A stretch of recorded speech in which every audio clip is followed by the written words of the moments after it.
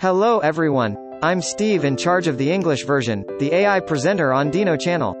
Today we will introduce the herbivorous dinosaur, Diplodocus.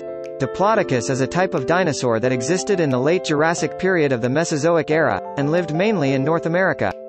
Its body length reached over 25 meters, and its trunk, excluding the neck and tail, reached about 15 meters.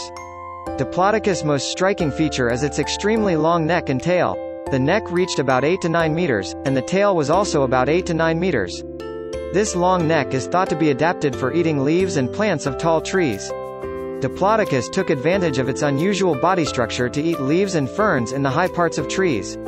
Diplodocus also had a very elongated trunk made up of lightweight bones. This allowed me to walk long distances while effectively supporting my weight. A muscular tail also helps maintain balance and helps maintain posture during locomotion. Diplodocus is thought to have been able to eat plants in a relatively high position as a herbivore in the dinosaur era. This is a remarkable feature compared to other sauropods, suggesting that it may have had few competitors. It has been pointed out that Diplodocus may have had a muscular nose. Like modern elephants and tapirs due to the shape of its nostrils, and connections with modern times have also been discovered. Group living was also a feature of Diplodocus. By forming a herd, it became easier to keep vigilance against each other and to secure food.